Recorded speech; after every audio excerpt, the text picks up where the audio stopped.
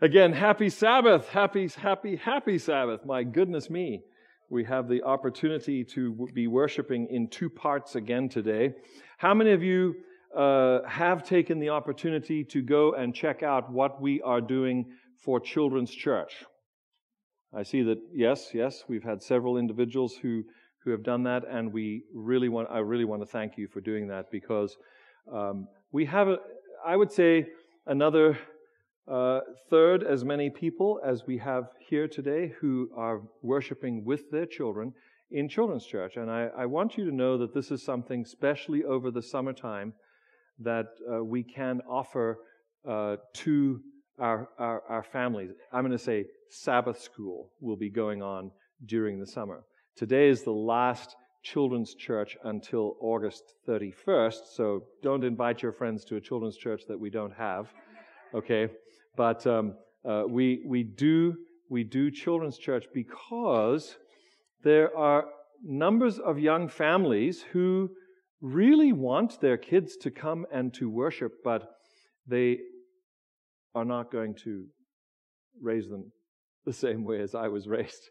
So just understand, be, be patient and or um, helpful by telling your friends that we have a kid-friendly situation that is taking place twice a month, as you know, first Sabbath, like this Sabbath, and third Sabbath, usually on the same Sabbath as potluck, that uh, is able to accommodate the very wonderful, rambunctious kids that we have and their parents, many of whom may not have grown up in this church and are wanting to have their kids learn about uh, Jesus themselves. So thank you for supporting that. Your offering somewhat today supported that, just so you know.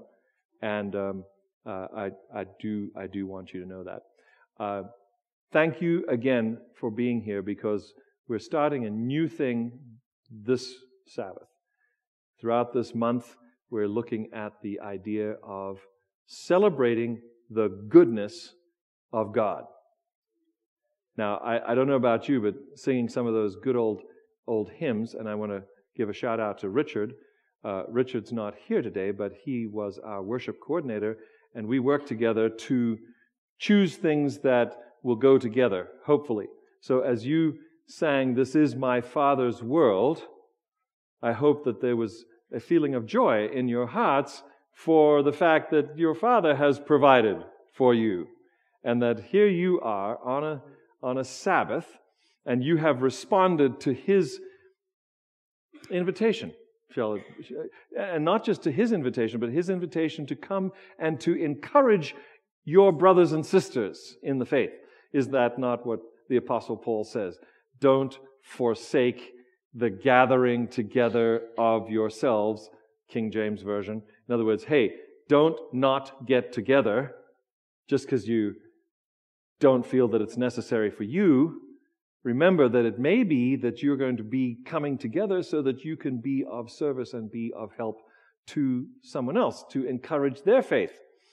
Uh, it may sound strange, but I believe that uh, even though we call this space in our church the sanctuary, okay, for various reasons, uh, both old and new, that piece of our building that is known as the narthex or the lobby is actually where I believe so much very important ministry takes place. When somebody comes who hasn't been to our church before, I, and if you're that person today, I hope that you were greeted.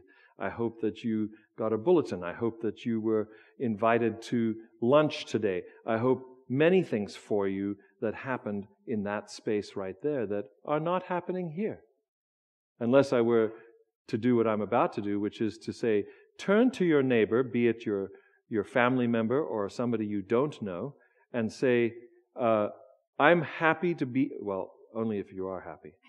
I'm, I'm happy to be here today. How are you?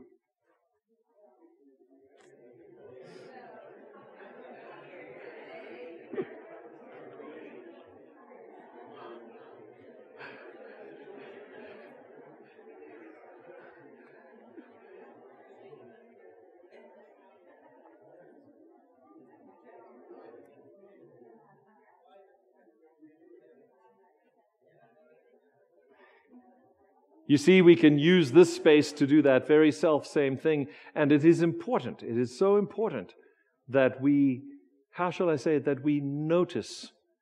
We notice people, we notice each other.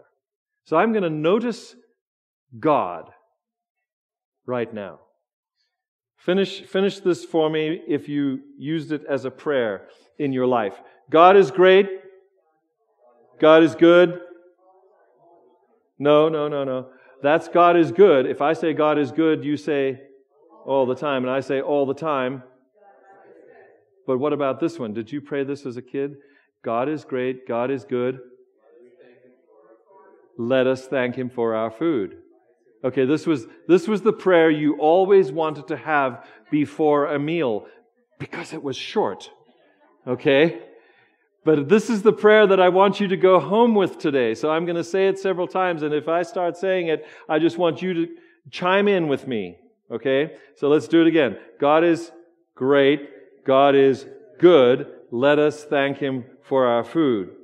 I, have been intrigued, really, and this is, this is why we're, we're talking about this today. I, I've been intrigued by our modern use of the word good. Someone asks you, How you doing? What's your response? Asher. I'm good. Somebody compliments you and encourages you and says, You're doing good. I'm good. Would you feel horrible if I told you that this was very sloppy English slang? Maybe even blasphemous. Would, would that hurt too much? I, I, I know that some of you enjoy being spanked in church, but I, I'm not that person. I'm not that pastor. But, but what if, let's just say if, what if when you answer somebody who says, hey, how you doing? You say, I'm good. You're not thinking that, of course, the proper English response I'm sure there's a proper Spanish response too, would be, I am well. I am doing well. And then, of course, if you're very polite, you say, thank you very much. And, and, and yes, thank you. And then if you're very, very polite, uh, as, as Mother Kit has reminded me, you would say, and you? Meaning, are you well? So uh, I, I, don't know if this is poking at the bear to, to a certain extent to say that this thing that we do so easily, this thing that we say just comes out of our mouth because it's so usual for us, might actually be uh, rooted in a cultural shift, in a, a, a mindset change that has taken place in our culture today that is actually embracing of a blasphemous attitude. What is blasphemy? Blasphemy is basically talking against God, talking about Him as not being God, not recognizing Him, not respecting Him. So you may think, you didn't know about blasphemy before maybe there are small blasphemies and there are big blasphemies. I, I, I don't know, but I, I, put forward to you a, a thesis this morning, a, a proposal that potentially we have unknowingly, unwittingly joined in with an attitude in our world today that says, I'm good. I'm good. It's all, how about this one? It's all good. It's all good. Is it? Is it all good? That's a statement. That's a statement of being. That's a, that's a statement of your environment. That's, that's a statement of, of, of defense in some respects uh, concerning your actions. somebody questions your actions and, and you, you try to tamp them down and you say, hey, it's all good, man. It's all good. That's really like saying, you shouldn't be worried about this, even though you might have some questions about it because maybe you don't think it's all good. I'm going to tell you it's all good. Who said that you had the authority to say it's all good? See, these are things that, that maybe we should take into consideration sometimes with the way in which we participate in our culture. So again, I'm going to say, God is great. God is good. Let us thank Him for our food. Our text today is James 1, verses 16 and 17. And, and if you wanted to memorize one of the shortest texts in the Bible, I guess it would be James 1, uh, uh, chapter 1, verse 16. Because it says, do not be deceived. And he says, Brothers, I don't want you to be deceived. I'm going to say, People, I don't want you to be deceived. Verse 17 Every good and perfect gift is from above, coming down from the Father of the heavenly lights. This is the New International Version. Uh, the Father of lights. How many of you have ever seen the Northern Lights? the dancing lights, the beautiful. I mean, if you've seen them, you never ever forget them. But then on a, uh, maybe you've been camping and you've looked up, you've been someplace where there's very little unnatural light, and at night you, you look up and the stars are just like right there. People who travel to Africa often say that the, the stars are closer to Africa. Well, I just think it's because there's, no, there's not nearly as much unnatural light. So when you get on a very cloudless night and, and it's cold even sometimes up north, you can, you can see the stars as if you could just reach out and touch them. He is the Father of lights. He is the Father in heaven, it says, and every good and perfect gift comes down from Him to us. Father of lights. And the rest of the verse is also very important to understand. Who does not change? And then there's a comparison made. Like shifting shadows. Nice alliteration. Shifting shadows. Maybe it is the shifting shadows who have come up with the phrase, I'm good. Apostle James says in verse 12, Blessed is the person, the, the man who perseveres under trial. I put in Psalm 143 today because it starts out as a prayer from David uh, because he's under trial, he's under temptation. And I don't know about you, but I was tempted this week. Anyone want to raise their hand and say, I was not tempted this week?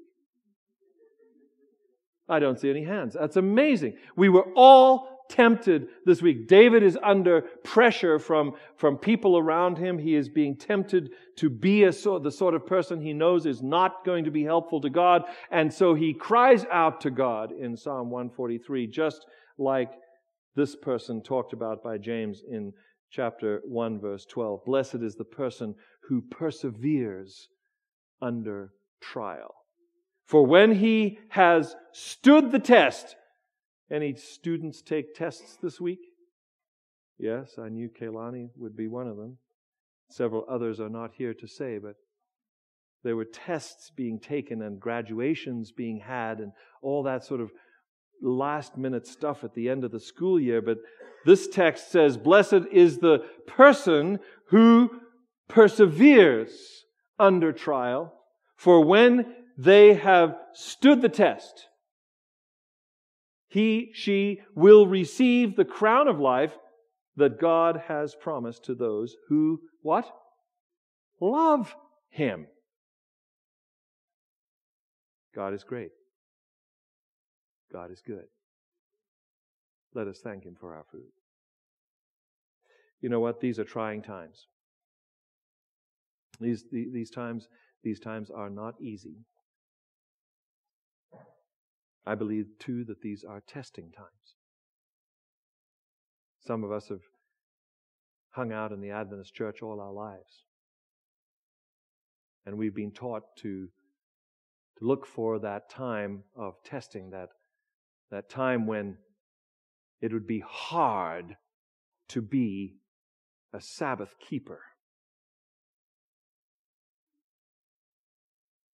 If you don't think that those times are now, I'm not sure you're awake. If you are a, a Sabbath person, if you are interested in the God of creation, it is not easy for you.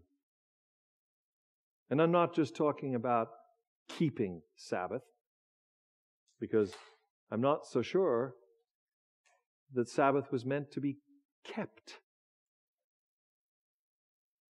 I'm pretty sure that Sabbath was meant to be shared. Have you ever thought about that? Are you keeping Sabbath? I hope it doesn't rock your world too much, but I hope it rocks you enough to think, this is a gift from God. He didn't mean for us to keep it, He meant for us to give it away. So thank you, Javen, wherever you went off to, to Children's Church. He was the only one who brought a friend. And that friend is now enjoying the tree outside. Yeah, that was Lizzie the lizard. She's gone back home. That's what mom told him. It was a good story. Helped him to be okay with giving the lizard back to its natural habitat rather than his hand. Tail, tail was still on that lizard. That was really good.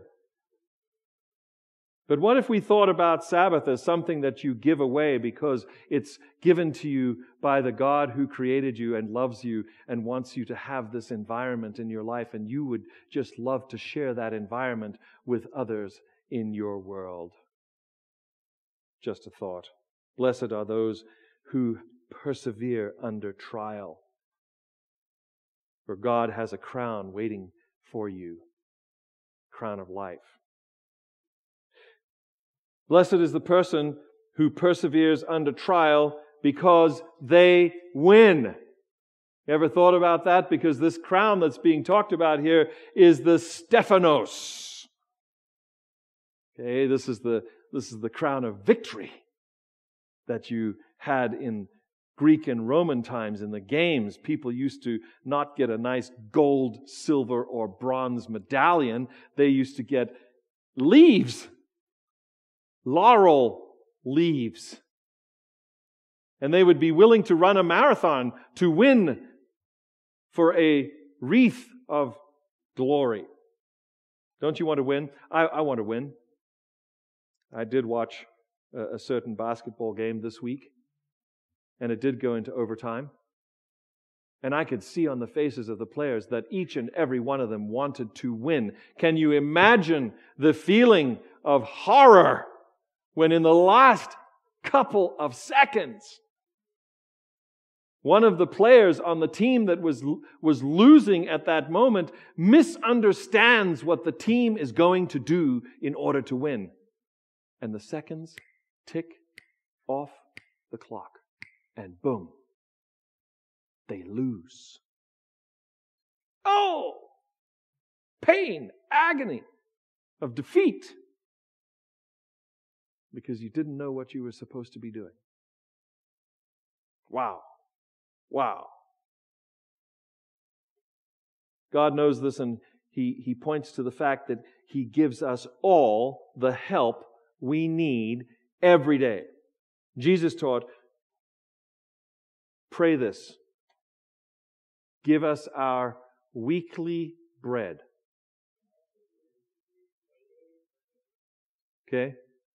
Could it be that maybe we have over expected on God's part because He never promised that He was going to tell us what's going to happen next week? He is only going to reveal to us what we need to know, just as Jesus needed to know. Every morning when he got up, he prayed to his heavenly Father. He connected with his heavenly Father and he said, What's on the agenda today, Dad? And Dad said, I want you to go up this way to Galilee, and on the way, you're going to meet a lady at Jacob's well, and she is going to tell the entire village what you tell her. Let me tell you, it's so much fun to be on God's agenda. It's so freeing. You don't have to take responsibility. You just ask Him to lead, and He does. James says, Don't be deceived. If you want to be a winner, accept the gifts. Accept the good in you. Don't, the, the, the fact that the good in you does not come from you, that it is a gift from the Father of lights. I don't know what else you may have been told by human philosophers. That good just comes out of you. But I'm going to tell you right now, my Bible says, my experience with the Father of lights says that the good that is in me is from Him. The good that is in me, the good that is in you, is a gift from Him. Man says to Jesus one day, Good teacher. Jesus stops him right there. And what does he say? Why do you call me good? There is only one who is good. So as we're thinking about this, this word good and maybe how we have used it or how we, how we think about it, I'm, I'm wanting to provoke good thoughts in your mind.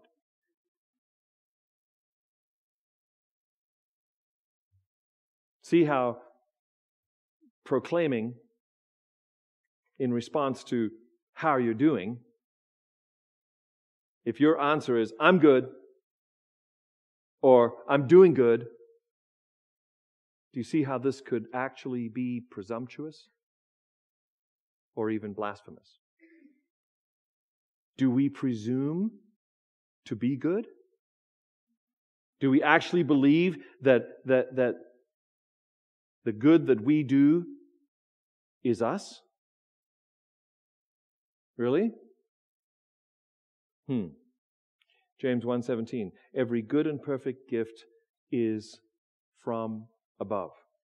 So to casually claim that the good that we are doing comes from us, I believe amounts to theft and or larceny, stealing, and what would you be stealing? You would be stealing God's identity. You would be claiming to be Him. If all the good and perfect things come from Him and you say, I'm good, or you say, I'm doing good, or you even think that what you are doing is good and that it comes from you, you're stealing. I'm stealing because there is only one who is good and from whom all good gifts come. Maybe we should give a more honest report when we are asked. I'm, I'm perceiving by, by God's good gifts, maybe, maybe I'm, I'm well, I'm well, maybe we should say I'm persevering, excuse me. I'm persevering. Isn't that a, a lovely word? I'm, I'm persevering. Are you really going to say that? No, you're just going to say, I'm good. I'm persevering by God's good gifts. Really? You're going to say that? I, I don't know. It's going to be hard to think of what to say. I'm well, thank you. Might be easier. By God's grace and mercy. This is a more honest report because He is good. And, and, and maybe you say, how you, somebody asks you, how are you doing? You say, God is good and, and I'm alive because of Him. Would that be too hard? It would be more honest. That's why I say God is great. God is good. Let us thank Him for our lives, for, for our daily bread, for our, our sustenance, which is our sustaining. God sustains us. If you ask the musician, what does sustained mean? For an organist, that means he's going to leave his finger on the key. This is going to be sustained. Okay? It's not just going to be punching at once. No, it's going to be on and on. God sustains us. He gives us our food. He gives us what we need. James says, Verse 1, 1, verse 16, don't be deceived. Deceived about what? Deceived about our own desires. You read the rest of that piece between 12 and 16, and you realize that our desires are to be great. Our desires are to be a winner. Our, desi- our, our desires are, are to be thought of as, as the one who provides for ourselves. I, I'm, I'm I don't know, maybe God is pounding this home with me. I, I, I, guess that's why I keep sharing it with you, is that it's becoming very, very clear that the divide in humanity is between those who accept the good gifts of God and those who believe that they have to be the ones to provide for themselves. We could have the big debate about uh, law and grace. Sometimes we want to, you know, pretty it up, pretty this discussion up by big words like law and grace. But really what it comes down to is, do I accept the fact that good comes from the Father of lights and not from me? And that that salvation, this good thing that God has done, comes from Him and not from me. Uh, it, it, it pervades. It's sort of one of these basic things that makes a difference, I think, between people in this world. Kind of one of those major fault lines. James says, Do not be deceived.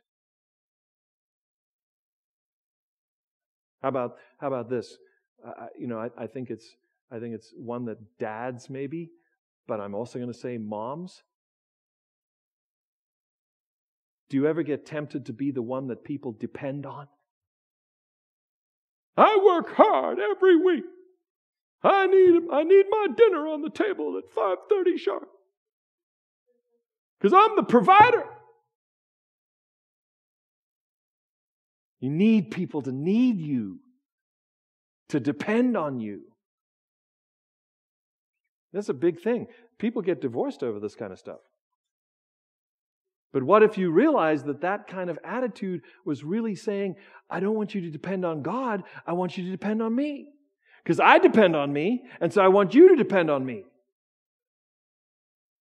Maybe this text in James is saying, no, the goodness that you need in your life is going to come from the Father. It's not going to come from you. There's one from, from way back who has said, see if you recognize this, I will raise my throne higher than God's throne.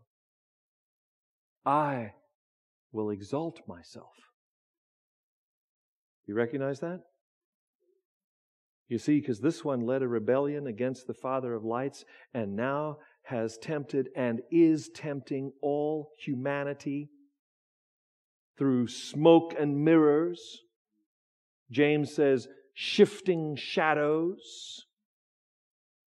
To believe that good comes from within you. You self generate good. And I believe that this is the basic blasphemy. The basic blasphemy that comes from the evil one. He has helped humanity, tempted humanity into joining his rebellion against the goodness that comes from God. So James says, that very short text, James 1, verse 16, don't be deceived. Don't be deceived. Every good and perfect gift comes from above. One last point. So if God, what we've talked about here, if God is the genesis, if God is the originator of all good, then is it possible? Now here's where you're going to have to put on your, your thinking caps, and maybe there's going to be some emotions involved. Okay?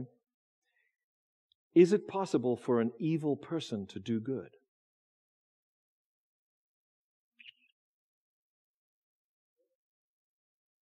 Or to have good in them? Thank God you're saying yes. I, was, I was hoping you would say yes. Uh, when I see good being done in the world anywhere by anyone, does that come from God? James would say, yes. God is good. It is He who is doing this in people. How, uh, let, me, let me say a couple of biblical names for you. See, see what comes up in your mind. Nebuchadnezzar. All this, he's speaking of Babylon, he's looking over Babylon. All this I have made. What happens to him in that next second? Lobotomy. Yeah. It's some sort of disconnect between his frontal lobe, where humans separate themselves from animal kind. He loses his ability to reason, the Bible says. And he goes out and he eats grass. He is in the field for seven years. Very biblical number, don't you think? And then the connection between his frontal lobe and the rest of his brain is restored, and God gives him back his kingdom. This is a good God. This is a God who gives David back his kingdom after he messes with Bathsheba and her, and, her husband. This, this is a God who says, My servant Cyrus, uh, Nebuchadnezzar, Cyrus, are these God's people? So, in other words, does he use more than those individuals who call upon his name? Got to be. It's got to be. It, it, it's scriptural. The stories bear it out. God uses more than just his own people to do good in the world, both then and now. The horrible thing is, if you'd said no, I would have had to bring out the big guns and say, How many of you are free of evil? I'm going to say, I'm evil. I have succumbed to the temptations of the evil one. I have believed in myself more than God. I want to testify today to say, I'm sorry, God. I'm sorry, Heavenly Father, for not trusting you, for not believing that the good in me comes from you, and trusting myself to take care of myself. Because that is the temptation, and that is from the evil one who said, I will lift up my throne above the Most High. I will exalt myself above the highest of heaven. So when, when I trust in myself as the genesis of good that I am supposed to do or be, then basically I'm joining with his way of thinking. And I don't want to do that. I'm, I'm, I'm believing that, that you do not want to be a rebel like that either. So God is great. God is good. Let us thank Him for saving our lives. Let us thank Him for gifting us with His goodness. Let us recognize His goodness in all people. We ready to go out? You, you ready to go out those doors and, and actually say, you know what? Pastor Mike is right. That person that I thought was just absolutely evil may actually have part in the plan that God has in the world today to do good. And that if I look hard enough, I might actually say, you know what? That person is actually doing good, even if they don't know that they are. And that that good is actually helping someone. Yet, you know, I, I, I could say, uh, other than that, they, they're probably serving themselves and they're pretty evil. How judgmental is that? From one evil person to another. See? God is great. God is good. Let us recognize his goodness in all people. When they do good, evil or not, they are displaying the gift from above. If we're going to believe this text in James, if we're going to believe that it comes from God, we, we're displaying a gift from, a, from above when, when, when they do good, from the Father of lights. Dare, dare I remind you at this moment that this is exactly what the first angel's message talks about in Revelation 14, verse 7. The angel says, Pay attention to God. So I'm going to say to you this morning, first angel's message from him to you via me is pay attention to God. Pay attention to the fact that God is doing good that comes from him through millions of people in the world today. Do we hear about it on the news? No. So this week, when I saw that there was a series called The Kindness Diaries, on Netflix, I started watching it. This is a guy who literally takes a ride on a motorcycle with a sidecar and goes around the world. Penniless. He has to ask every night that he's on this trip, which takes him several months, he has to ask somebody else for a place to stay and food to eat. That's, that's the deal. That's what he has to do. He sleeps in some amazing places, including in Philadelphia. He sleeps in a nook behind the mission with a homeless man who offered to share his space with him. Now, what these guys didn't know was that the crew also had the power to gift. They gifted that man a house to stay in. They gifted that man education so that he became a cook. What do you think he did when he became a cook? He fed older, homeless people as a cook. Goodness. Goodness from the Father above. This is a man who didn't say that he was a God fearing man, but he goes around the world looking for people that have the goodness of God, have the kindness of God in them. And then he asked them for some of that kindness.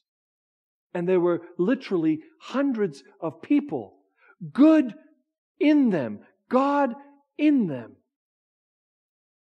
who took him in, a stranger, fed him, put him in a bed. In the case of the Indian fellow, put him in the only bed in their two room little tiny place, the bed that normally he, his wife, and his two kids slept in, his pregnant wife. He put his strange friend in bed with his two boys instead of sleeping there with his wife. His wife and he slept on the floor because you know what the Indian culture says? Do you know what Hindu culture says? A visitor is God. Now, where have we heard that before? That you may possibly entertain angels unawares. But yeah, the fact is, if you don't entertain, if you don't open yourself up to receiving the goodness of God through whatever He is going to deliver it with, then you won't receive it. So that's why I'm saying, are you, are you ready to go out these doors and say, you know what? I'm going to be starting to look for the goodness of God. I'm going to start celebrating the goodness of God as I see it anywhere in anyone. That's radical. I, am I'm, I'm, I'm warning you. I'm just warning you. You may see the goodness of God this coming week in places you never thought that it possibly existed. But since we've established this morning that all goodness comes from the Father above, and that number two, he can use individuals who don't even call upon his name or believe that he exists, he can use those individuals to do his good. Now, you're going to see the kingdom of God. you're going to see His power, and you're going to see it in a whole new way because you're going to see that there's so many more people than show up here on a Sabbath morning who receive the gift of goodness from God and dispense it to those around them. Goodness of God is amazing. God is great. God is good. Let us thank Him for our food. Amen.